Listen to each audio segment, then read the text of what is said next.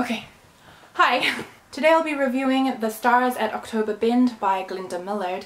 I just want to mention that the copy I read was an uncorrected proof. For those of you who don't know, an uncorrected proof is a version of the book printed before the final edits are made. So the one I read may have slight differences to the book that's now available for purchase, but the essence of the book should be the same. So the story is set in Australia and it's narrated by two characters, Alice, a 15 year old girl who has acquired brain injury, and 16 year old Manny, who is a former child soldier from Sierra Leone. For the geographically challenged world, Africa, Sierra Leone.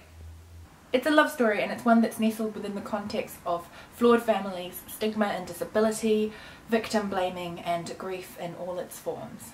The most startling thing about this book is that the parts narrated from Alice's point of view are written in prose poetry. So because of her brain injury, Alice really struggles to say words aloud, but she thinks and writes with this unmatched beauty and in observing the world, she really adds value to it. Good representation of disability is something that I've found quite difficult to find in YA, so I really appreciated that the negative impacts of Alice's brain injury weren't just ignored or dismissed. But she wasn't just this broken, damaged character either. Something that Manny realizes in this book is that he has to kind of learn a different way of listening when it comes to Alice. She isn't disabled as such, she's differently able, but it takes patience and willingness to see that. This cover here isn't the one that was published in the end, but to be honest, neither cover does this book any justice.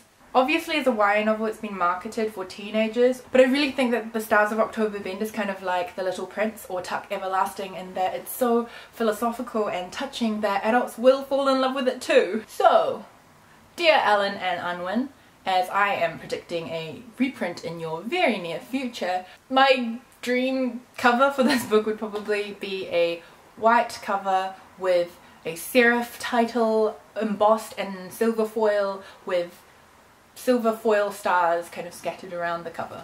This is coming from someone with no experience whatsoever in book design, so you know it's quality advice.